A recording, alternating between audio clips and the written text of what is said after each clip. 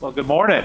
Welcome uh, to Higher Hope. Uh, we're glad that we're worshiping again together, and we're in this series called Deep Roots. And uh, this is our um, the beginning part of a journey of us describing um, what our vision of discipleship is. What, what is what is God doing in our life? And it's it's really this picture of the tree, and uh, part of the tree is is is really growing into maturity, becoming all that God has called us to be. It's it's about fruitfulness. It's about health. It's, it's about when the storms come, um, be able to stand strong and still not fall. Um, and the biggest part of the tree, the most important part of the tree, are the roots. Uh, but I wanted, I wanted to kind of um, kind of frame this morning for you. Um, there, there has been lots of ways that, that watching uh, television has changed over the years. Um, a few, a while back, what you would do is you take your remote well, there's there's precursors to this, but you take your remote and you'd go click, click, click, click, click, click, click, click, and you'd click around the whole way, and you end up in the same spot, and you're like, nothing's on. I don't know if you've ever done that, you know, and and so you'd be like, watch. There's like 12 news networks. There is like five kids show, kid uh, TV show areas. There is like the main networks. There is like 12 sports networks. There is like 500 stations total. And you click, and I don't know if you ever does. You click lots of voices, lots of lots of opportunities, lots of chances, lots of like things you could watch, and yet you get to the end of the whole journey. You go all the way through, and you say this: there is nothing on.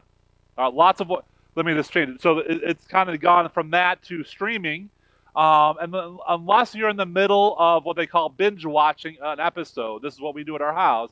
We go, I don't know if you click, I don't know if you hear a click, but slide, slide, slide, slide, slide, down, down, down, down, slide, slide, slide, down, up, down, up, cross over, in, out.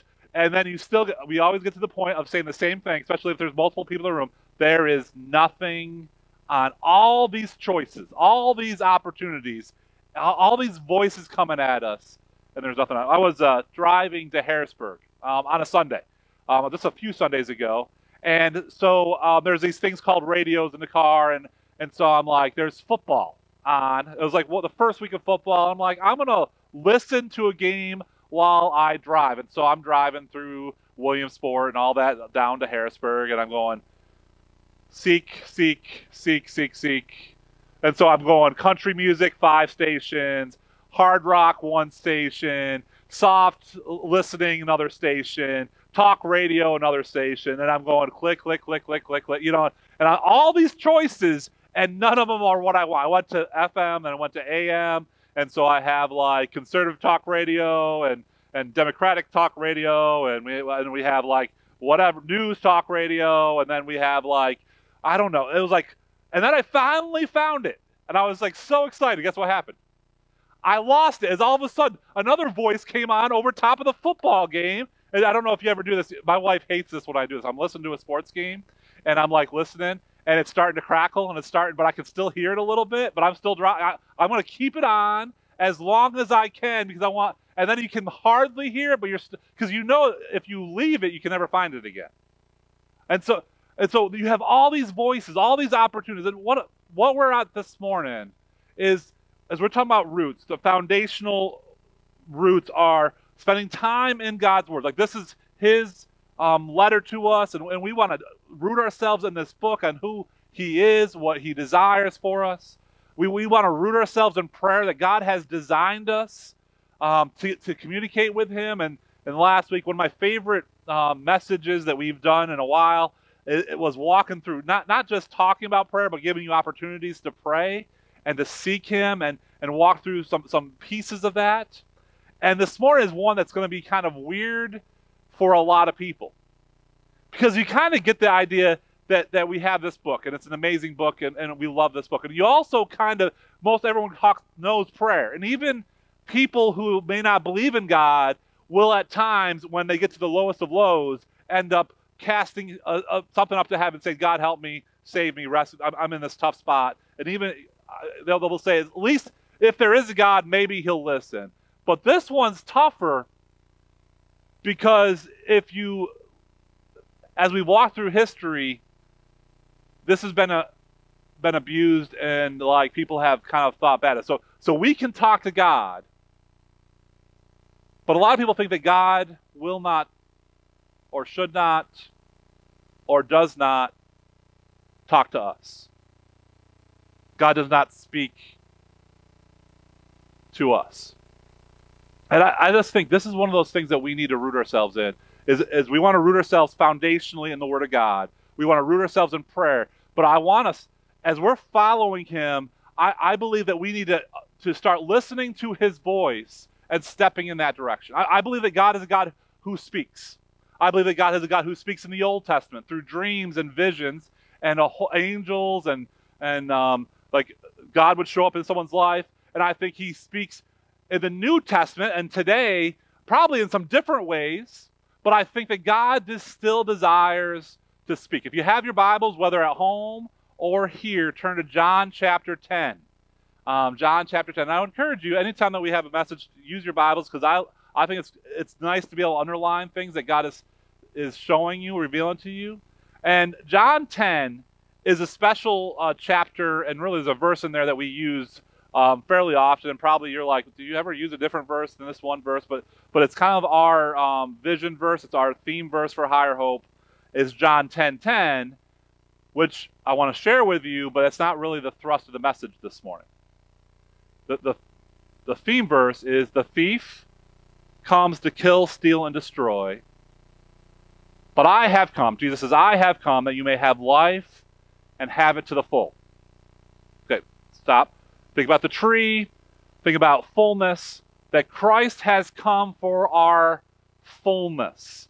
That there are a lot of other voices and a lot of other things happening in our world that are, are coming to steal and kill and destroy the things that God wants to do in their life. But Jesus says, I have come that, that you can have fullness, that you can have fruitfulness, that you can be mature, that you can grow into all that God has designed you to be. In fact, this theme falls in line with Paul, who says in Colossians that we have been given fullness in Christ, that he wants our maturity.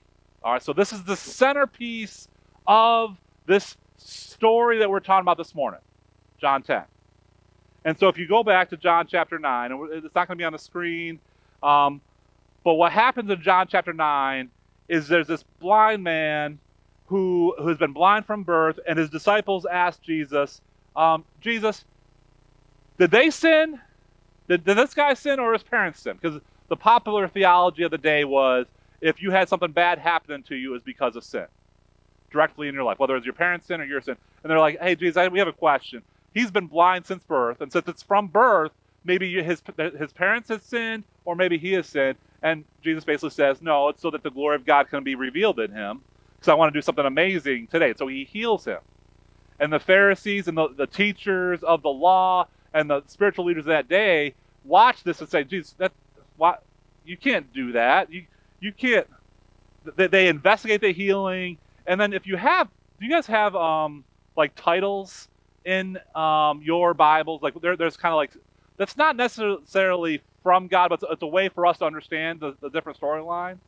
Uh, let me let me back up a little bit. The Gospel of John, as as many books are, are not necessarily always written chronologically, like as in a full history. In fact, John says, if I would give you the full history, be, it would cover a library of stuff that God has Jesus has done.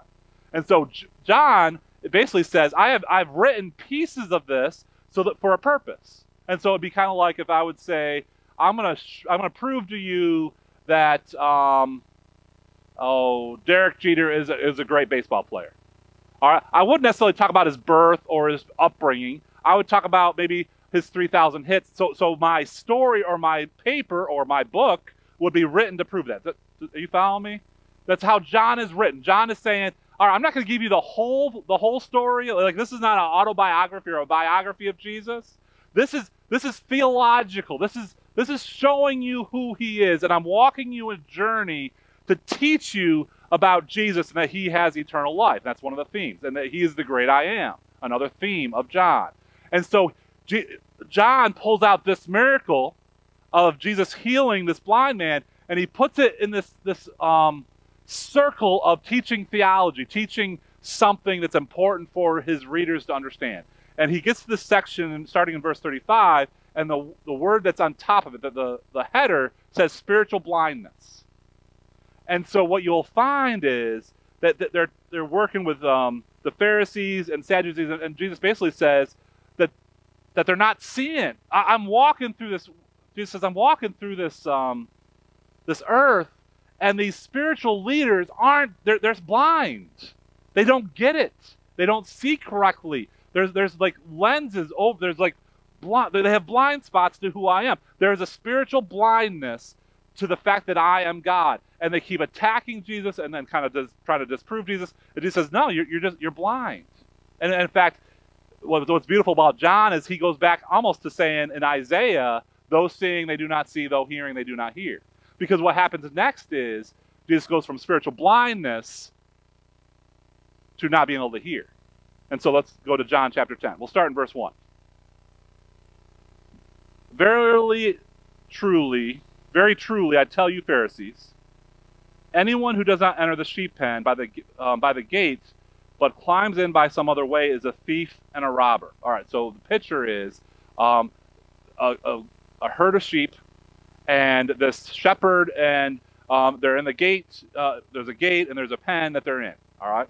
He says, "Verily I say to you, that a thief and a robber they climb, they don't come in through the main door. Like if someone's going to break into your house, they may break the main door, but sometimes they, they usually break through a window. The thief and robber does not like have the key, open up the door, walk in, say, "Hey, I'm home," and the dog comes in and greets you. The thief and robber comes in, they sneak in, and they, they kind of go around the corners and try to, to break in. The one who enters by the gate is the shepherd of the sheep. Now, hear this. This is this is a theological this is a theme in the Old Testament. Think about this for a second when Jesus talks about this idea of the sheep of the shepherd, guess where he's referring to? Probably a piece of it's in Psalm 23. The Lord is my shepherd. The God is my shepherd. I shall not want. He makes me lie down in green pasture. He he leads me beside quiet water. He restores my my soul. Um, and, and there's a lot more. And he says, guess what? I am the good shepherd. I am. I am. I'm the one they're talking about. Psalm 23. Um, the gatekeeper opens the gate for him, and the sheep, listen to this, this is the part. The sheep listen to his voice. And you will see that John 10:10 10, 10 is in the front of it and in the back of it is themed with this idea of the sheep listen to the shepherd. The, the sheep, we, if, if, if Jesus is your shepherd, that one of the key pictures of, of Him being your sheep, one of the key principles of uh, finding abundant life, fullness of life, is this idea of listening to the voice of Jesus and knowing. This is what it says.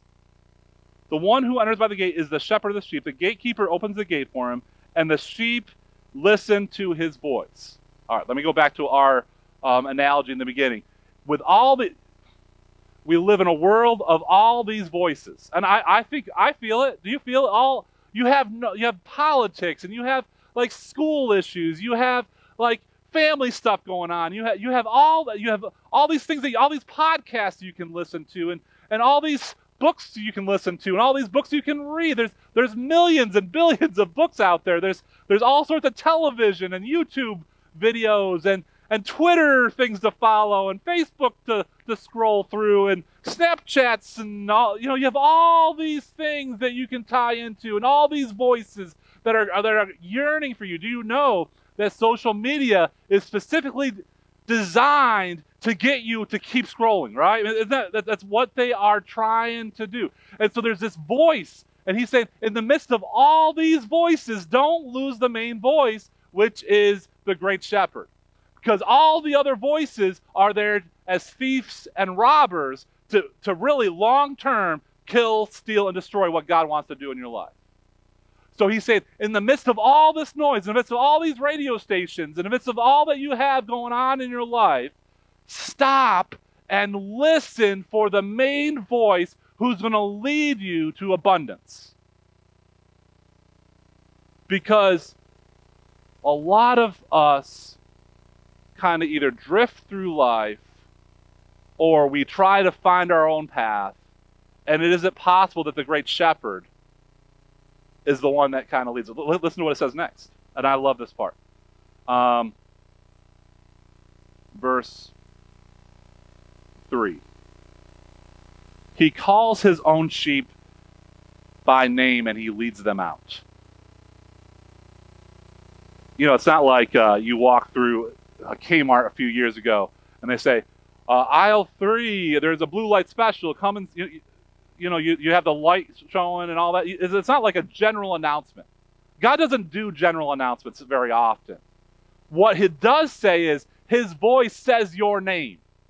Like when you come into worship, you're not listening to a sermon. What, what I hope that eventually you get to is, Lord, I want to hear from you because you have something to say to me. And it have nothing to do with what I'm saying. It may have nothing to do with the music. It may be one word that he says to you. It may have, have some thought that comes into your mind. But that thought, that, that, that word is more important than whatever else happens on the stage. God's voice is the most critical piece to doing what God wants us to do. And he says, He calls you by name. Think about this. In the Old Testament, whenever he came to someone, he always called them by name. In fact, he usually said it twice. Because just in case they didn't hear it the first time, Moses, Moses. He, did, he wasn't setting up the burning bush as a blue light in Kmart.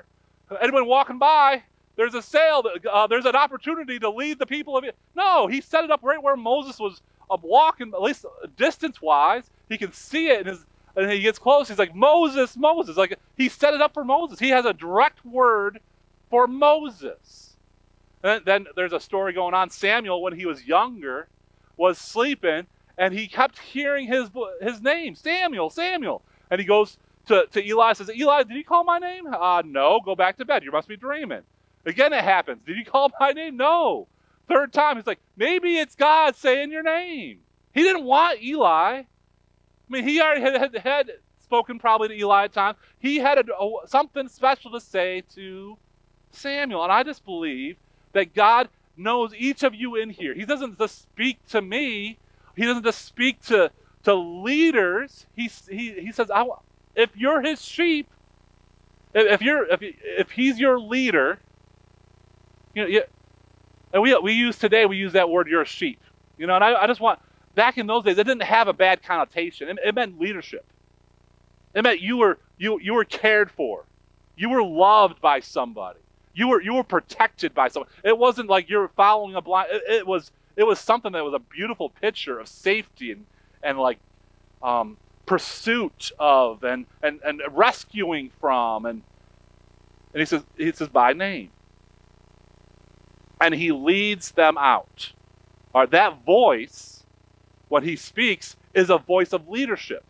It's a voice of, and I would say he says one of three things to us, and maybe two or three of the things all at once. It, when he speaks, it's going to be something about who he is, who we are, or what he wants us to do.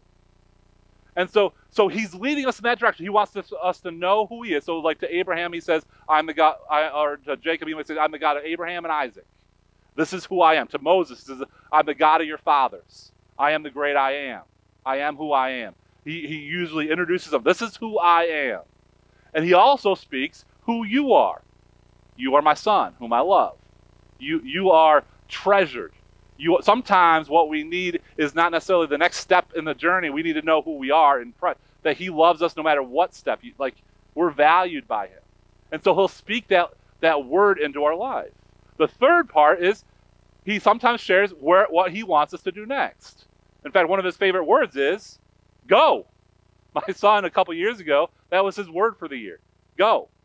It's, it's a two-letter word, but sometimes that's the very word he, he says, go. Sometimes to a place I'll show you. You don't know exactly where it's going to be. And sometimes he says, go to this place. Do this.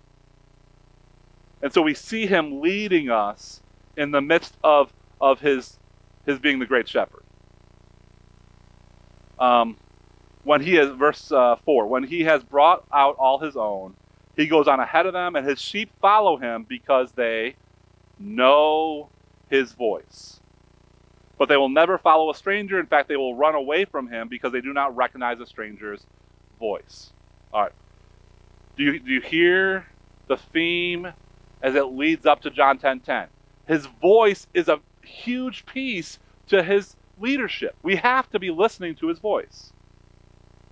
Then he says in verse 7 Verily, truly, I tell you, I am the gate for the sheep.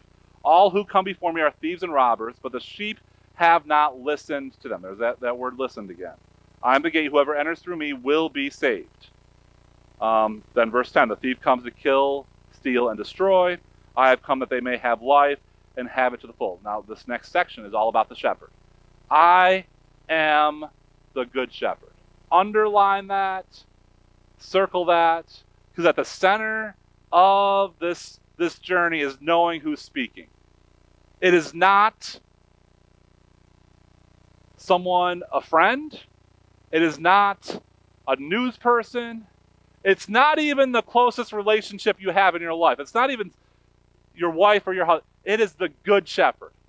Notice that they put the word good in there because he is caring and he, he has a, a journey for you and he, he does love you. The good shepherd, here goes, keeps going. The good shepherd lays down his life for the sheep. He loves you that much. He, he is not trying to steal from you, he's trying to lead you to life. The hired hand is not the shepherd and does not uh, own the sheep. So when he sees the wolf coming, he abandons the sheep and runs away. He's not leaving you. Verse 14 I am the good shepherd. I know my sheep, and my sheep know me. He's saying, listen, I, part of this listening, part of his voice is knowing him. Not just knowing about him, but knowing intimately what Jesus wants um, for us. I'm going to jump over to verse 27. Uh, start in verse 26. Or no, let's do for 27. My sheep, here we go again, listen to my voice. I know them, and they follow me. Do you do you hear? Surround John 10:10 10, is in the middle of this section, and surrounding John 10:10, 10, which I think is critical. Jesus says, and really John's teaching this as the writer, that in order to get to abundant life, we have to listen to his voice. We have to, we have to hear him. And, and all of a sudden, there's a bunch of people who think we're all crazy now. Like, crazy people hear from God. And then they hear crazy things from the crazy God. And I just want to walk through a little bit, real quickly. How do we listen to God? How, how do we root ourselves in that? Number one is this we have to seek His voice. His voice is not loud, it is not um, going to shout. In fact, a lot of times his, his voice is a whisper that we need to like seek. Like if we don't seek it, we won't hear it. Because everything else can round it out. It's almost like that, that football game that has the crackling and it has the other other station and all of a sudden you hear music behind it. You have to train your ear to listen to it. We, we need we need to train our we need to say in some ways we have to turn off the other voices. Here's here's the second part of that. We have we have to have silence sometimes. God speaks in silence. When we get away when we turn off the radio you know what I know this is not real sound. You know when I find that my soul best hears from God? On my lawnmower. Because it's the one place where my, my like there's no other sounds besides the lawnmower. I'm I'm watching these straight lines happen, and I feel like God meets me on my lawnmower. It's not it's not the lawnmower. It's, it's, it's the silence of finally allowing God to, to speak into my life. Um, listening to God also means waiting. So many times, this, this is how we do it. And this is why we get frustrated sometimes. We have a question for God God, I have this job opportunity. Do you want me to take it or not? And then we're like, hurry up. Hurry up, God. Come on, God. God, I need the answer now. I, am seeking your will, but I need that you see. I believe this, all right? That God withholds his answers sometimes for us because he knows that once we get the answer, we stop seeking him. And he values your relationship with him more than what you do. Does that kind of make sense? So if he just told you what to do, you leave him, you do it, and you no longer seek him till the next thing that you need him to answer. When he removes that answer for a while, guess what we do? We keep coming back, or we should be keep coming back. God, I love you. I, I, I just I want to do your will, and I my whole heart is submitted before you.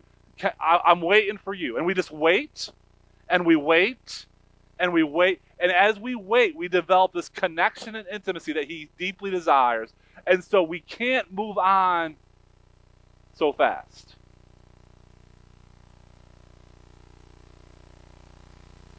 Um, confirming. I've heard a lot of people that use this God said to me in a way that's manipulative and you're like God didn't really say that. Like we we have we we can't just do this emotionally. We can't just say I feel like God God yeah that was that, that my emotions tell me that's what God said. We have to confirm what God, what we feel like God may be saying and, and look for it in different ways. Number one is this. We look for it obviously in this book. If it is if this is not connected to this book, if, if it's if it's against this book, listen, if you ever hear someone say, God told me to have an affair, I'm just going to tell you straight out that God did not tell you that that's a thief and a robber. Because that is not truth. God told me to do this. And you're like, no way, there's no way, because it's not a court. You cannot have God say something that, that's not in, like that's contrary to this. And so if it is that, then you automatically have to say that's not God. Um, another way we do that is we look at Jesus. Um, Hebrews 1 3 says this that in the past God spoke through visions, dreams, through the prophets in various times and various places, but now he has spoken through Jesus. And so maybe some of the, the, the ways you can walk that is did Jesus do that? Would Jesus do that? And not just the way we feel like Jesus would do it, but really, again, we're going back into the book. How did Jesus live his life? Because that's that's his word, and there's, there's a solidness to that. Um, another way that you can confirm it is through people. Now, be very careful with this one, because Satan can use good people who don't even know it in a way to stop you from following God's word.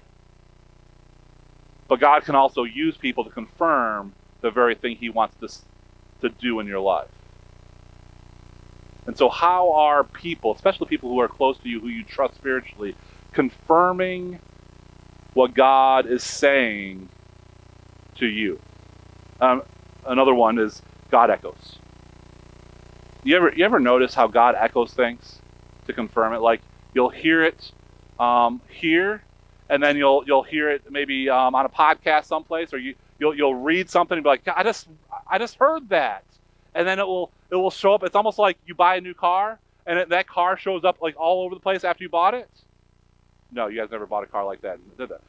Okay, well it happens, right? All of a sudden, there's like 12 of those cars in Horseheads. There was never that there was never that many before you bought it, but now there is. And so you're looking for those confirmations, like, all right, where else do I see God showing up in this way? Let, let me just wrap up by saying this. I don't believe there is anything that, that changes our course faster, that is more transformative, that, that, that just throws our life in a different direction than the Word of God. Every time God, God speaks, sometimes our life gets thrown into upheaval and He changes a direction. It's transformative. As much as a wedding or having a baby is transformative, like it changes the course of your life. When I look in Scripture and when I look at my life, His Word changes the course of our lives. You know, and there's a story that I mentioned earlier about Samuel. And there's there's a phrase that um, Eli tells him to, to, to share when God speaks, or when he desires, he's seeking God to speak. And it's this Speak, Lord, for your servant is listening. Now, what he does is he turns off all the other voices. all the other things shouting out. He's like, All right, Lord. My eyes are fixed on you. Your servant, I'm going to respond. I'm going to, I'm going to be obedient. I'm going to step in that direction. Is listening. You know, I just want to encourage you. For some of you in here and online, you're like, God has never spoken to me. You know why we do one word? Uh, one word, obviously, is a it's something we do in January where we ask people to choose a word um, that God can use in their life because I believe that that's a tool, also a way to learn how God speaks. Because all of a sudden, you know, you're like, I don't know what my word is. I don't know what my word is. I don't know what, what where God wants me to do. And we're seeking Him and we're waiting. And all of a sudden, we don't even know how it happens. But we know God gave us a word. That's God speaking. You know, I remember a time when I was uh, trying to decide whether to start, move back to this area and start a church. And I was uh, kind of in a room like this, and I was sitting down, and there were there, there was it was at a camp, and so you know I'm sitting here, and I am there's a speaker that's going to speak, and there's a worship team that's, that's leading worship, and in the midst of all these voices that are good voices of of like worship and, and admiring God and someone sharing something in the middle of it had nothing to do with what's going on around. I there was no so you know there was no audible voice, there was no fireworks, there was no like um like specific phrase that he said. There's no like this huge thought. It was like this confirmation from the Holy Spirit that said, in my words, plant the church. You know, I'm sitting there, and there's people sitting all around. They have no idea that God's speaking to me. They have no idea that, that that's a confirmation of what I had been wrestling with for a year. They have they don't know any of that. But in the midst of a moment of worship, in the midst of of all this other noise, God speaks. And my prayer is, whether it's here or whether it's um, while you're driving or whether it's on your on a lawnmower whether it's a big word like it's life altering like you're moving someplace or it's it's a it's a daily word today of like you need to lean into this relationship that you hear God speak. And that not only do you hear God speak but you step into it and see what God has for you through it. Because God's word when he speaks is powerful. You know again I go to many I go to conferences and my one prayer is, is God I don't want a lot of ideas. I want a word from you. Uh, one word, one idea, one thought, but let me hear from you. That, that's as we root ourselves, as we see God do uh, amazing things, as we, as we want abundant life. May we seek His word more than we seek our own will for our life.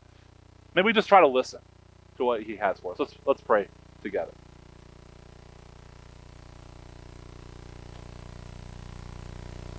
Heavenly Father, you are a God who speaks. The very first act of creation was your word. And you have spoken to your the people who have walked with you, whether it's Abraham or Isaac or Moses. And God, I, I still believe you speak. Although it's hard sometimes to, to decipher the voice um, but your Holy Spirit was a gift to us to hear from you. That you can impress things on us. That you can teach us. That you can reveal yourself to us. So, God, we don't necessarily just want to do religion. We don't want to go to church just to go to church. We don't want to watch something just to watch something. We don't want to fill our lives with so many voices that it, it drowns out your voice. We want to hear from you. We want to say, Speak, Lord, for your servants are listening. So, God, I pray that you speak.